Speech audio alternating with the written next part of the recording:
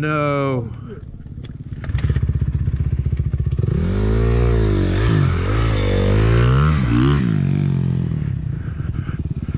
Ah.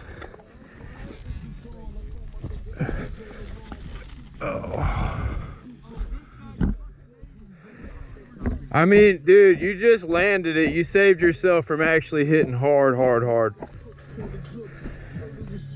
Just, ta just take a minute. Take a minute. Just take a minute. What did you hit? Fuck up, that's the raw vanish. Came back speaking Spanish, lavish habits. Two rings, 20 carats, here's the criminal. Nigga made America's most. Killed his baby mother brother, slit his throat. The nigga got back with the toast. You got it. Like. You did. I mean, you were like just a hair short, and you you actually landed it, and then just didn't actually like recover. I guess. I mean, I, it wasn't landing like you landed at the top and bounced. I mean, like he- like you didn't get bucked off in the landing. Like you actually held the bike in the landing, which was great. I mean, You gotta hit your brakes. Legs okay? You did. You didn't get squirrely till right here. Oh, we got we, we got you bloody up there a little bit. Nothing, just a big split. He's fine. You got all your curly lights. how's seriously though? Like like fingers.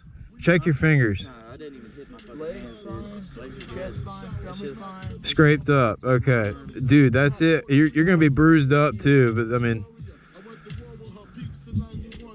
a little bit of road rash.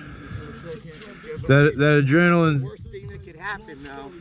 So if anything, you know what wrecking on it, what real wreck on a bike is like. yeah. Knowing that is actually a good thing.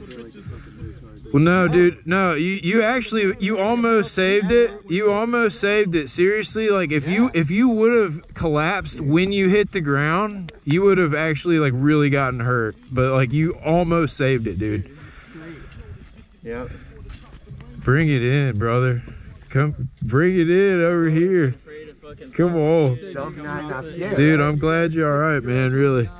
It was How did you need to fucking wreck to get that that that All right, what that did I jitter? do fucking wrong? You just didn't gas it enough. Just a little bit more gas, and you would have made it. Gotta pull it off. Probably landed on like the last. I've got it on camera. You can watch it. You can see exactly what happened.